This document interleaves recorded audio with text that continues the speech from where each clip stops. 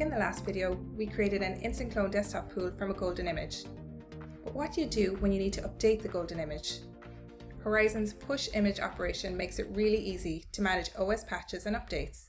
No downtime or maintenance windows required. Before you try this out, you need to have an existing instant clone desktop pool and then you need to make changes to the golden image. You can either make changes to the VM you used the first time or you can use a different VM entirely. And finally, you'll need to power off that change VM and take a VM snapshot. I'll just go through the snapshot part. I'm in the vCenter inventory here. I've got my powered off golden image VM. On the snapshots tab, you can see I already have the original snapshot called Win10 Pool Snapshot. I'll take a new snapshot and name it OS Update Snapshot. Click Create, and here it is. Okay, now we'll switch over to the Horizon console. Go to Inventory, Desktops, and click the name of the desktop pool. Click Maintain and select Schedule. I'm using the same VM in vCenter, so I don't need to change that.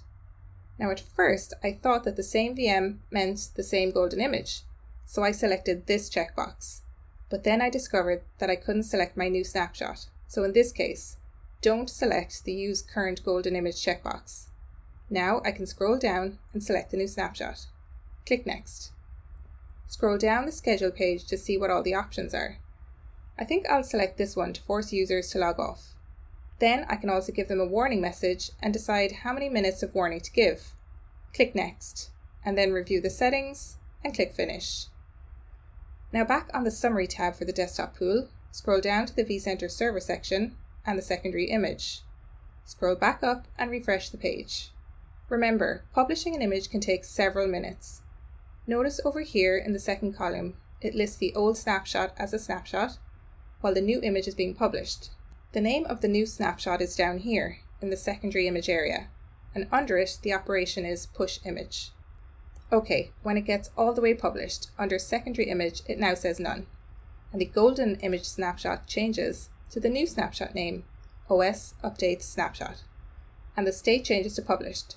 You can scroll up and go to the Machines tab, in the table, scroll to the right to see that the new snapshot was used for the VM. You can also click the machine name to go to the details page for it. The next time a user logs in, they will get the update. If I didn't use the option to force users to log off, then they would go on using the old image until they chose to log out of the machine. Then, the next time they logged in, they would get the new image. This staggered approach to updates reduces boot storms and eliminates the need for maintenance windows. For more Horizon technical resources, be sure to visit techzone.vmware.com.